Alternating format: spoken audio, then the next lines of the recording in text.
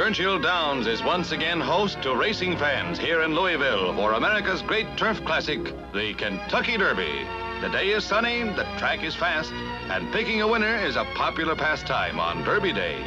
The day when a gal can wear a different hat and the mint juleps flow like water. Betting on the big race tops the million and a half mark. Favorite is number one, native dancer Alfred Gwynne Vanderbilt's unbeaten gray colt, seeking his 12th win. 100,000 onlookers, 11 starters, everything is in focus for Diamond Jim Moran.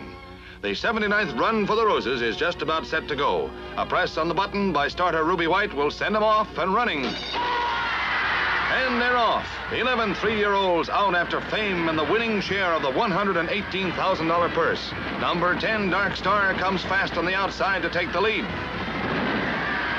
Dark Star, winner of the Derby trial, is fifth choice of the betters at 25 to 1, but his star is rising today. The Cain Hoy stable entry holds his lead in the backstretch with the favorite native dancer back in the pack.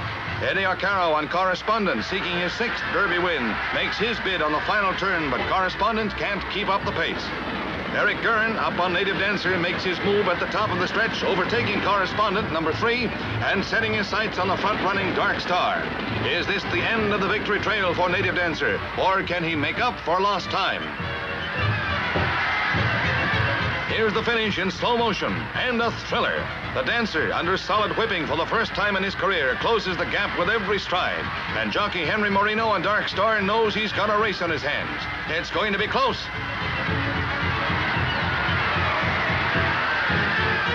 It's a heartbreaker for Native Dancer. He gave it a try, but loses by a head to Dark Star, leader all the way, paying his backers handsomely for their support.